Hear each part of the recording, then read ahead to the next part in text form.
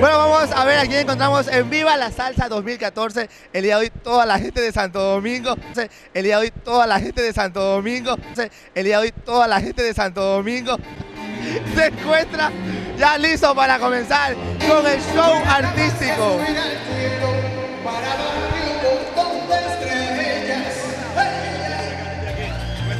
Bueno, pues por acá me encuentro con mi gran amigo, con nuestro amigo Eke Vega. ¿Cómo está? Contento viniendo a ver la salsa, acompañando de la familia, así que esperamos que sea un concierto sensacional a quien nos gusta la salsa. Bueno, y ya el día lunes estrena Casa Nueva en 100% deportivo, ¿no? Sí, estamos trabajando en la nueva escenografía, aspiramos de que la gente le guste, es un programa que ya tiene ocho años y yo creo que el deporte está vinculado a la salsa, así que estamos dispuestos a ver un espectáculo chévere.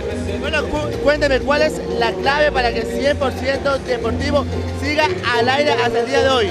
Mira, yo creo dos cosas. Una, que la gente que estamos ahí nos entregamos de lleno. Eso, es primordial. Y sobre todo, que la gente respalde las iniciativas de poder cubrir las ligas barriales, las ligas parroquiales, ir donde verdaderamente está lo, profundo del deporte. Bueno, mi estimado Don Elke, usted que el mejor concierto de Santo Domingo siempre trae la mejor radio del país, que es Radio Majestad. Con seguridad. Un agradecimiento a Andrés, felicitarle, desearle el mejor de los éxitos, que sepa que siempre estamos los programas para respaldarlo y sobre todo a vos que sigas adelante con Gracias. Gracias. Mándeme por favor un saludo muy especial para el programa Aquí te lo contamos todo.